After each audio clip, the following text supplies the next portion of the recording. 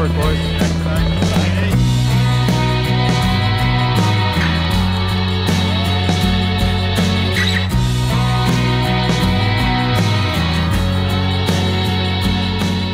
It's nine months race. Uh, we're all pretty tired, and I think everyone's looking forward to taking some time away from the boat and uh, looking forward to spending some time back with our families.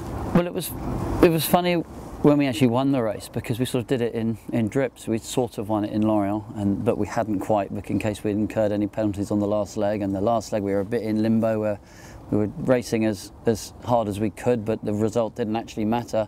So it was a very strange one, trying to sell very conservatively. Um, and I don't think the race winner's really sunk in yet. Um, my family get here today, so I'm sure um, I'm sure that'll help. Um, I'm just an emotional softie, that's all.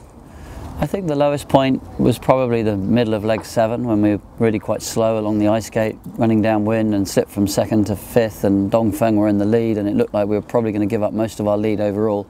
Um, that was a very difficult sort of three days. Um, unfortunately it didn't turn as, out as bad as we thought because Dongfeng slipped back to fourth at the finish, but that, that was probably a low point. The other low point for me personally was I made a terrible start in Auckland and finishing last in the in-port race in Auckland. Well, since the start of this project, we've tried to concentrate on everything that affects the people. This, uh, we've got the same boats, the same masts, the same sails. This has been called the human edition, and so we've really tried to focus on on looking after the guys, trying to make the sailors better sailors, and that's that starts with fitness and nutrition. It, um, it, it extends into coaching and all the advice we can get to try and improve our own technical skills and how we work together.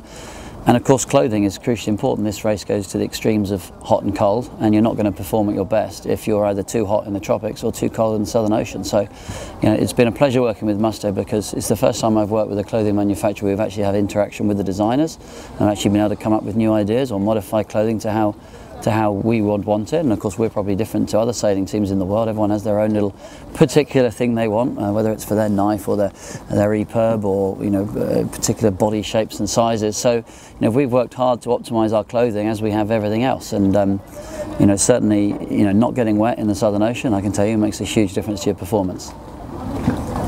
Well, I was the first person to test the new HPX Pro, and I think that included all of the modifications that came from suggestions from our team and, and other Volvo teams as well. Um, I wore it for the whole of the race. Once I had it on, I never, I never took it off. Uh, never went back to the old design. Uh, totally waterproof. Um, the drainage was better in the pockets.